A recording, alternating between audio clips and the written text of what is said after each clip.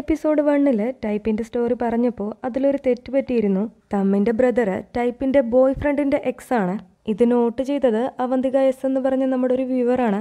അവന്തികയ്ക്ക് thanks പറഞ്ഞുകൊണ്ട് നമുക്ക് രണ്ടാമത്തെ എപ്പിസോഡിലേക്ക് കടക്കാം. എപ്പിസോഡിന്റെ തുടക്കത്തിൽ നമ്മൾ കാണുന്നത് എ പീറ്റിനെ ഐ സി ബിൽഡിംഗിൽ കൊണ്ടുവന്ന് വിട്ട ശേഷം ബൈ പറഞ്ഞു പോകുന്നതാണ്. എ പീറ്റിനെ കൊണ്ടുവന്ന് വിട്ടിട്ട് പോകുന്നത് ഒരാൾ ശ്രദ്ധിക്കുന്നതായി കാണിക്കുന്നു. ആ നോക്കി നിൽക്കുന്ന സ്റ്റുഡന്റിന്റെ പേരാണ് ടിൻ. പീറ്റും ടിന്നും ഫ്രണ്ട്സ് ആണ്. അന്ന് രാത്രി പീറ്റ് തന്റെ ഡയറിയിൽ എയെ ഒരിക്കൽ കൂടെ കണ്ടതിന് യൂണിവേഴ്സിനോട് നന്ദിയും ഇനിയും കാണാൻ സാധിക്കണേ എന്ന വിഷും ആ ഡയറിയിൽ കുറിക്കുന്നു. പിറ്റേ ദിവസം എയെ കാണാനായി പീറ്റ് രാവിലെ ഗ്രൗണ്ടിലേക്ക് ചെല്ലും. എന്നാൽ അവിടെയൊന്നും അവന് എയെ കാണാൻ സാധിക്കില്ല. പീറ്റ് നോ പാർക്കിങ്ങിൽ വണ്ടി പാർക്ക് ചെയ്തതുകൊണ്ട് സെക്യൂരിറ്റി ഗാർഡ് വന്ന് പീറ്റിനെ വഴക്ക് പറയാനായി തുടങ്ങും. ഗാർഡിന് പീറ്റ് നോ പാർക്കിങ്ങിൽ വണ്ടി പാർക്ക് ചെയ്തതിനേക്കാളും അവന്റെ കാറ് കണ്ട് അസൂയ തോന്നിയിട്ടാണ് പീറ്റിനെ വഴക്ക് പറയുന്നത്. ഈ സമയം എ അവിടെ വന്ന് ആ ഗാർഡിനെ വഴക്ക് പറയുന്നു. അങ്ങനെ ഇവിടെ നിന്ന് വേഗം കാറ് മാറ്റാൻ പറഞ്ഞ് സെക്യൂരിറ്റി ഗാർഡ് അവിടെ നിന്ന് പോവും ശേഷം എ പീറ്റിനെ ബ്രേക്ക്ഫാസ്റ്റ് കഴിക്കാനായി ക്ഷണിക്കുന്നു. പീറ്റ് ഓക്കെ പറയുമ്പോൾ അവനോട് ഐ സി ബിൽഡിംഗിൽ വെയിറ്റ് ചെയ്യാൻ പറഞ്ഞിട്ട് പീറ്റ് ഫ്രഷായി ഡ്രസ്സ് ചേഞ്ച് ചെയ്യാനായി പോകും. അത് കഴിഞ്ഞ് രണ്ടുപേരും കോളേജ് ബിൽഡിംഗിലെ പാർക്കിങ്ങിൽ വെച്ച് കാണുന്നു. എന്നിട്ട് എയുടെ സൈക്കിളിൽ അവിടെ നിന്ന് ബ്രേക്ക്ഫാസ്റ്റ് കഴിക്കാനായി പോകും. അങ്ങനെ അവർ കഫേയിൽ വന്ന് നൂഡിൽസ് കഴിക്കുമ്പോൾ പീറ്റ് എയോട് ഞാൻ നോർമൽ അല്ല എന്ന് നിനക്ക് തോന്നുന്നുണ്ടോ? എന്ന് ചോദിക്കും. എ ഈ സമയം പീറ്റിനോട് നിനക്ക് ചുറ്റുമുള്ളവർ പണ്ടെപ്പോഴോ സെറ്റ് ചെയ്ത ഒരു സോഷ്യൽ സ്റ്റാൻഡേർഡിൽ ജീവിക്കുന്നവരാണ്. അതുകൊണ്ടാണ് അവർ നിന്നോട് മോശമായി പെരുമാറുന്നത്. നീ ഗേ ആണ് എന്നതിനർത്ഥം നീ നോർമൽ അല്ല എന്നല്ല. എനിക്ക്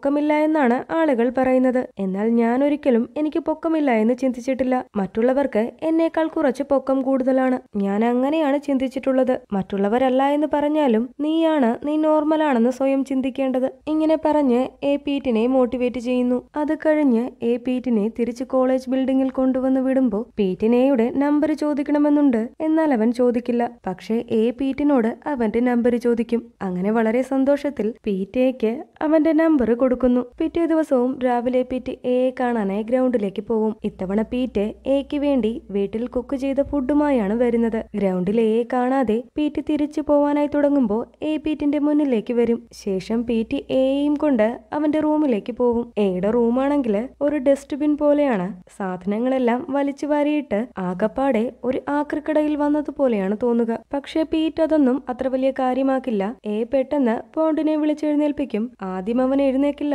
അതുകൊണ്ട് പീറ്റ് നിന്റെ സീഡികളെല്ലാം ഞാൻ ഒടിച്ചു കളയുമെന്ന് പറയുമ്പോൾ പേടിച്ചവൻ എഴുന്നേൽക്കുന്നു. അപ്പോഴാണ് അകത്ത് പീറ്റുള്ള കാര്യം അവൻ ശ്രദ്ധിക്കുന്നത്. അത് കഴിഞ്ഞ് പോണ്ട് കുളിക്കാനായി പോകുന്നു. ഈ സമയം എ ഫുഡ് ബൗളിലേക്ക് മാറ്റുകയാണ്. അതിനിടയിൽ എ പീറ്റിന്റെ തലയിൽ തൊടുമ്പോൾ എക്ക് പീറ്റിന്റെ മുടി വളരെ സോഫ്റ്റ് ആണെന്ന് തോന്നും. അങ്ങനെ അവൻ പീറ്റിന്റെ കയ്യിൽ പിടിച്ചു നോക്കുമ്പോൾ കൈയും വളരെയധികം സോഫ്റ്റ് ആണ്. മൊത്തത്തിൽ പീറ്റിന്റെ ബോഡി ഒരു ചെറിയ കുട്ടിയുടേത് പോലെയാണ് എക്ക് തോന്നുക. പക്ഷേ എ പീറ്റിനെ ടച്ച് ചെയ്യുമ്പോൾ പീറ്റ് അൺകംഫർട്ടബിൾ ആകുന്നു. താൻ ഗേ ആണെന്ന കാര്യം എ മറന്നുപോയി കാണും. അതുകൊണ്ടാണ് തന്നെ ടച്ച് ചെയ്യുന്നതെന്നാണ് പീറ്റ് വിചാരിക്കുക. ഈ കാര്യം എക്ക് മനസ്സിലാകുമ്പോൾ എനിക്ക് നിന്നോട് ദേഷ്യമുണ്ടായിരുന്നെങ്കിൽ ഞാൻ ഒരിക്കലും ഇങ്ങനെ ചെയ്യില്ലായിരുന്നല്ലോ എന്ന് പറഞ്ഞ് എ പീറ്റിന്റെ മുഖത്ത് പിടിക്കുന്നു. അങ്ങനെ രണ്ടുപേരും പരസ്പരം നോക്കി നിൽക്കുമ്പോൾ കുളി കഴിഞ്ഞ് പോണ്ട് അവിടേക്ക് വരും. ആ സീൻ കാണുമ്പോഴേ പോണ്ട് നിങ്ങൾ രണ്ടുപേരും തമ്മിൽ ഇഷ്ടത്തിലാണോ എന്ന് ചോദിച്ച് അവരെ ടീസ് ചെയ്യാനായി തുടങ്ങുന്നു. ശേഷം മൂന്ന് പേരും ഫുഡ് കഴിക്കാനിരിക്കും. ഫുഡ് കഴിച്ചു കഴിഞ്ഞ് എ പാത്രം കഴുകാനായി പോകുമ്പോൾ പോണ്ട് പീറ്റിനോട്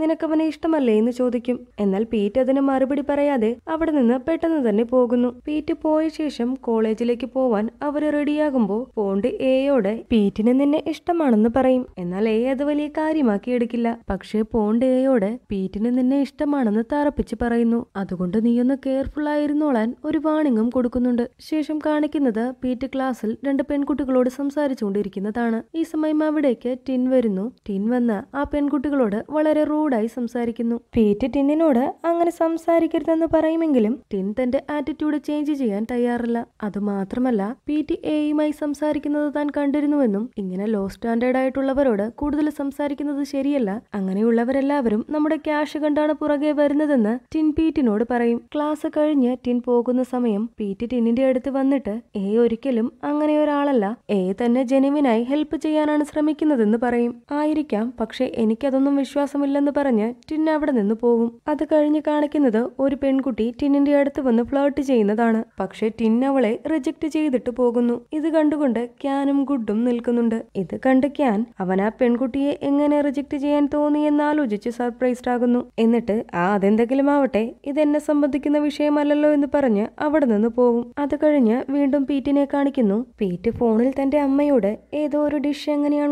ഉണ്ടാക്കുന്നതെന്ന് ചോദിക്കുന്നു. ഉറപ്പായും നാളെ എയ്ക്ക് ഉണ്ടാക്കി കൊടുക്കാൻ വേണ്ടിയിട്ടായിരിക്കും അവൻ ഈ ഡിഷിനെ കുറിച്ച് അമ്മയോട് ചോദിച്ചിട്ടുണ്ടാവുക. പീറ്റ് അമ്മയോട് ഫോണിൽ സംസാരിച്ച് കോൾ കട്ട് ചെയ്യുമ്പോൾ ട്രംപ് വിളിക്കുന്നു. ട്രംപിന്റെ കോൾ റിജക്ട് ചെയ്ത് പീറ്റ് നടക്കാനായി തുടങ്ങുമ്പോൾ പെട്ടെന്ന് ട്രംപ് അവന്റെ മുന്നിലേക്ക് വരും. ശേഷം കാണിക്കുന്നത് എ പീറ്റിനെ വിളിക്കാനായി ട്രൈ ചെയ്യുന്നതാണ്. എന്നാൽ പീറ്റിന്റെ കോൾ കണക്ട് ആവില്ല. പീറ്റിന് ഈ സമയം ബിൽഡിങ്ങിന്റെ പുറകുവശത്ത് വെച്ച് ട്രംപ് ഭീഷണിപ്പെടുത്തുകയാണ്. ട്രംപ് വീണ്ടും പീറ്റിനോട് പൈസ ആവശ്യപ്പെടുന്നു. എന്നാൽ തന്റെ കയ്യിൽ പൈസയില്ലെന്നും ഒരു രൂപ പോലും തരില്ല എന്നും പീറ്റ് പറയും. ഇത് കേട്ട് ഞാൻ നിന്നെ തല്ലുമെന്ന് പറഞ്ഞ് ട്രംപ് ഭീഷണിപ്പെടുത്തുമ്പോൾ എന്നാൽ നീ അത് ചെയ്. നിനക്കിങ്ങനെ ആരുമില്ലാത്ത സ്ഥലത്ത് വെച്ച് എന്നെ ഭീഷണിപ്പെടുത്താനല്ലേ പറ്റൂ? എന്ന് പീറ്റ് ചോദിക്കും. ഇത് കേട്ട് ദേഷ്യപ്പെട്ട് ട്രംപ് പീറ്റിനെ ഉപദ്രവിക്കാനായി തുടങ്ങും. ഭാഗ്യത്തിന് ആ സമയം പോണ്ടും എയും അതുവഴി വരുന്നു. പീറ്റിനെ ട്രംപ് ഉപദ്രവിക്കുന്നത് കാണുന്ന പോണ്ട് അത് എയെ കാണിച്ചു കൊടുക്കുന്നു. പെട്ടെന്ന് തന്നെ എ അവിടെ നിന്ന് പീറ്റിനെ രക്ഷിക്കാനായി പോകും. പെട്ടെന്ന് പീറ്റിനടുത്തേക്ക് ഓടുന്ന എ തന്റെ ബാഗ് എടുത്ത് ട്രംപിനെ എറിയുന്നു. എ വന്നു കഴിയുമ്പോൾ ട്രംപ് പിന്നെ അധിക നേരം അവിടെ നിൽക്കില്ല.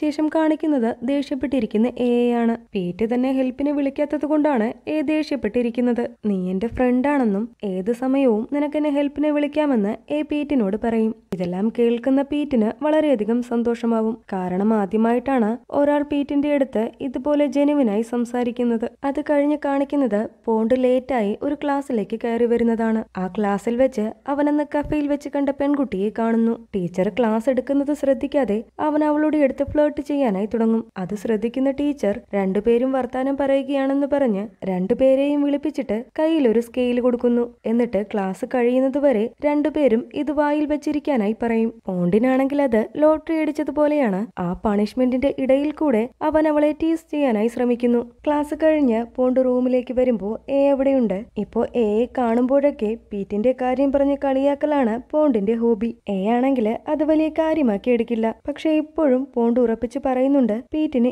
എ ഇഷ്ടമാണെന്ന്. അത് കഴിഞ്ഞ് പിറ്റേന്ന് ഫുട്ബോൾ ഗ്രൗണ്ട് കാണിക്കുന്നു. അവിടെ നമ്മുടെ ക്യാപ്റ്റൻ ടെക്നോ ഈ ജൂനിയേഴ്സ് പിള്ളേരെ കൊണ്ട് ആകെപ്പാടെ ബുദ്ധിമുട്ടിയിരിക്കുകയാണ്. ഒരെണ്ണവും കൃത്യമായി പ്രാക്ടീസിന് വരില്ല. അങ്ങനെ ടെക്നോ മൊത്തത്തിൽ ഫസ്ട്രേറ്റഡ് ആകുന്നു. ടൈപ്പും ചാമ്പും പറഞ്ഞതുപോലെ ടെക്നോയെ കൊണ്ട് പറ്റുന്ന പണിയല്ല ഈ ലീഡർഷിപ്പ് അന്ന് വൈകുന്നേരം ടിന്നിനാരുടെയോ കോൾ വരുന്നു. ആ കോൾ എടുത്തൊരു ഇറിറ്റേറ്റഡ് ടോണിൽ നിനക്ക് എന്താണ് വേണ്ടതെന്ന് ചോദിക്കും. എന്നിട്ട് കോൾ കട്ട് ചെയ്ത ശേഷം ടിൻ പെട്ടെന്ന് തന്നെ അവിടെ നിന്ന് പോവും. ഈ സമയം ഫ്രണ്ട്സിന്റെ ഒപ്പം ക്ലാസ് കഴിഞ്ഞ് വരികയാണ്. അവരെല്ലാവരും കൂടെ ഒരുമിച്ച് ഡിന്നറിന് പോവാൻ പ്ലാൻ ചെയ്യും. എന്നാലേ ഫ്രണ്ട്സിനോട് താൻ വരില്ല എന്ന് പറഞ്ഞു പോകുന്നു. ശേഷം ബാക്കിയുള്ളവർ ഡിന്നറിന് പോകുന്നത് കാണിച്ചുകൊണ്ട് എപ്പിസോഡ് അവസാനിക്കും.